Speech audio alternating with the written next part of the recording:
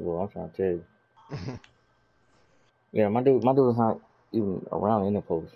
He's trying to stand outside. Right. Oh, he can shoot though. He ain't trying to pull it. Good pass. Good.